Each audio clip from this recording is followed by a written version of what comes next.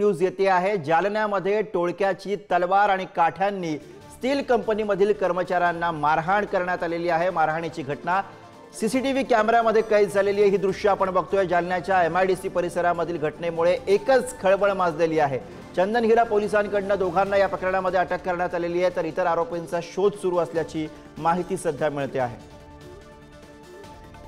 जालन्यामधली ही घटना आहे. आपण ही दृश्य बघू शकतोय. सगळी घटना सीसीटीव्ही कॅमेऱ्यामध्ये कैद झालेली आहे.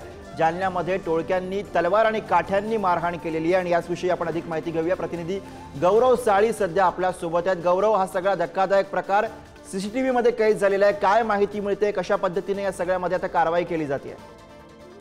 अगदी खऱ्या गुरुप्रसाद जर पाहायला गेलं तर जालन्याच्या एमआयडीसी मध्ये ज्या ठिकाणी एक स्टील पाईप बनवणारी कंपनी आहे या ठिकाणी ही घटना घडलेली आहे. आणि मध्यरात्री एक वाजेच्या सुमारास सात ते आठ जणांच्या टोट्याने कंपनीतील कर्मचाऱ्यांवर तलवार आणि काट्यांनी मारहाण केलेली आहे. आपण जर पाहायला गेलं तर ही संपूर्ण जी घटना आहे ती सीसीटीव्ही कॅमेऱ्यात कैद झालेली आहे. काही दिवसांपूर्वी कंपनीत सामावून घेण्याच्या कारणावरून वाद झाला होता. आणि या वादावरूनच काल या टोळक्याने कंपनीमधील कर्मचाऱ्यांना मारहाण केलेली आहे. आपण जर पाहायला गेलं तर चंदनजिरा पोलीस ठाण्यात या प्रकरणी गुन्हा दाखल केलेला आहे आणि दोन आरोपींना पोलिसांनी ताब्यात घेतलेला आहे.